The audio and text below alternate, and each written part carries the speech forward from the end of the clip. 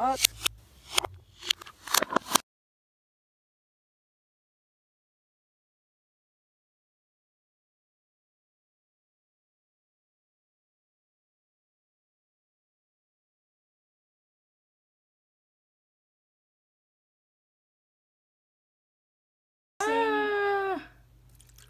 Let's try saying something into it. Ovni. Ovni. Ovni